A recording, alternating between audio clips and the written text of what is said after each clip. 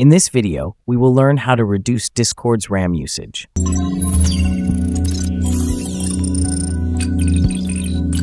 First, make sure you have stock Discord without any modification, plugins, or themes installed. You can download Discord from Microsoft Store or official site. Now let's see how much RAM our stock Discord is using.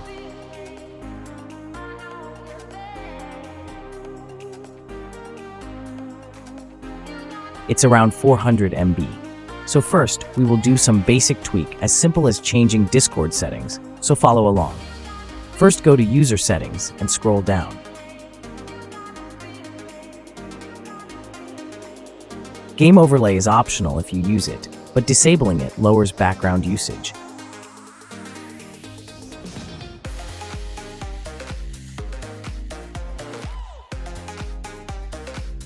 Disabling hardware acceleration restricts Discord from using GPU, which is beneficial for gaming. Turn this off so Discord won't boot up every time with Windows. This is also optional if you use this. If you don't want Discord notifications, you can turn this off. If you use push to talk, you can turn this off to avoid hearing this sound every time you press PTT key.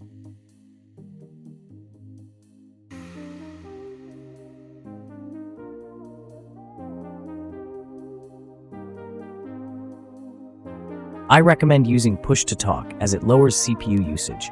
This is also optional if you want open mic.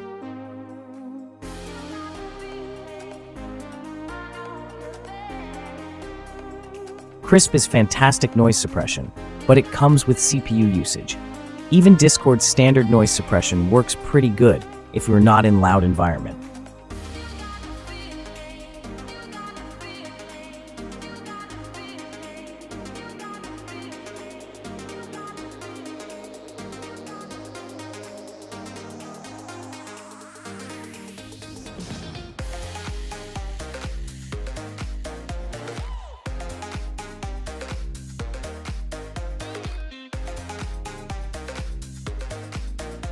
This disables data collection, relieving a bit bandwidth.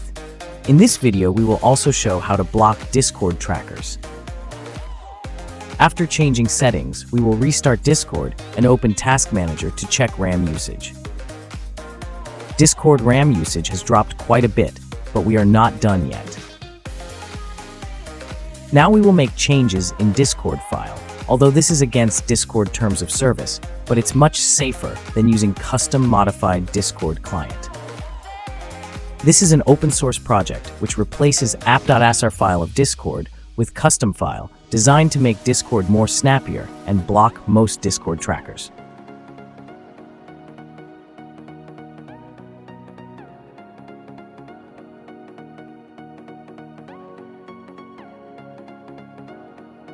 Now let's see what file will be replaced. In search type percentage, local app data percentage backward slash discord.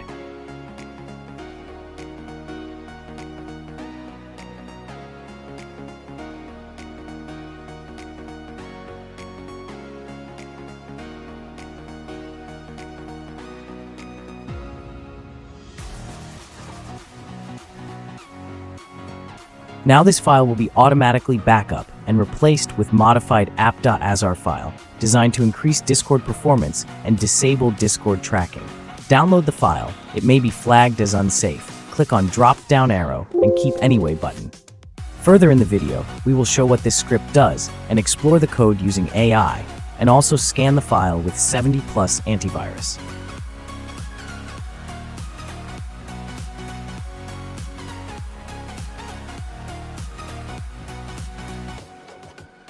Before running the script, make sure Discord is closed from System Tray.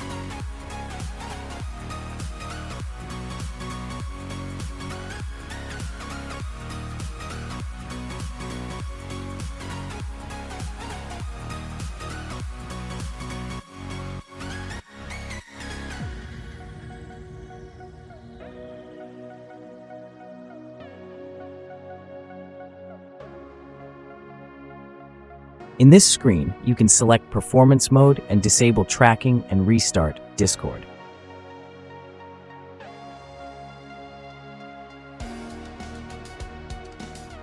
We will not be using experimental feature, but you can try it out.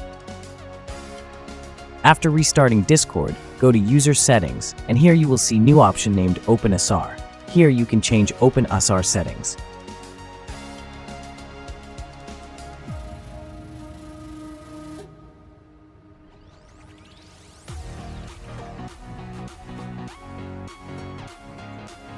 Now let's check RAM usage after this tweak. Here we can see that foreground RAM usage dropped significantly, although combined usage remains that same, but you will notice fast performance while switching from server to server.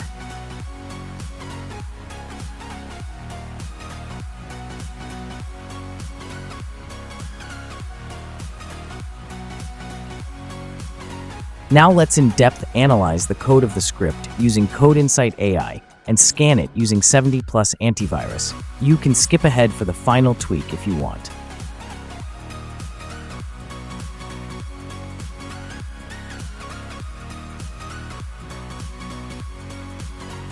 Putting the script in VirusTotal reveals the purpose of the script along with scan results. These two detections are false positive, as many big antivirus companies are showing result as clean file. Also, we can see what script does. It closes running Discord and downloads app, asar file from the GitHub repository we showed earlier, and replaces it with Discord app, asar file, while making backup of the original file. Now for the final tweak, we will be using this software, which doesn't change any Discord files, so it's completely safe, as it will only remove cache from RAM. So Discord idle state will use less RAM.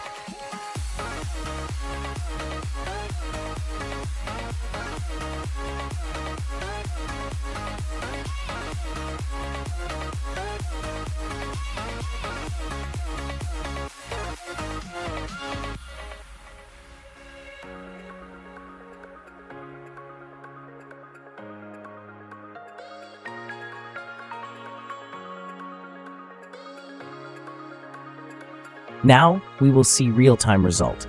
What happens to Discord process when we press middle mouse button on Memreduct Systray icon?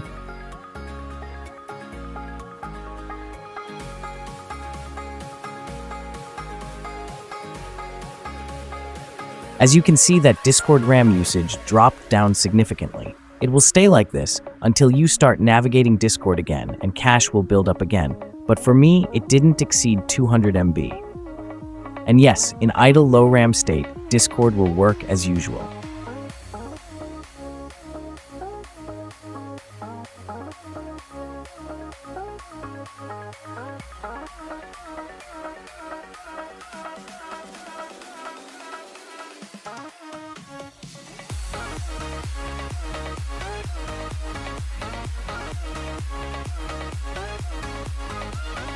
Now to revert the file modification we did, Follow the steps.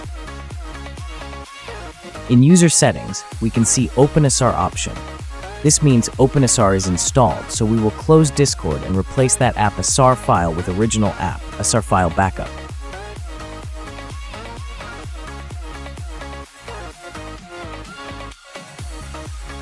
We go again to percentage local app data, percentage backward slash Discord folder, and delete the app asar file and rename the original app asar file just by removing the word backup.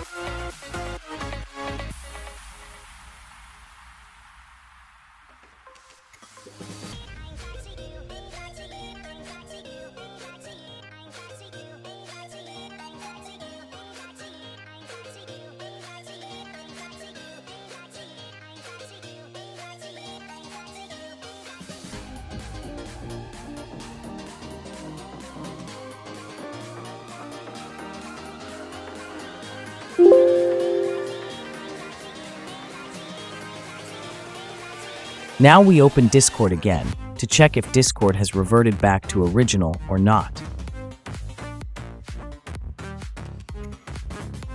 We can see OpenAsar option is removed, hence Discord is reverted back to stock.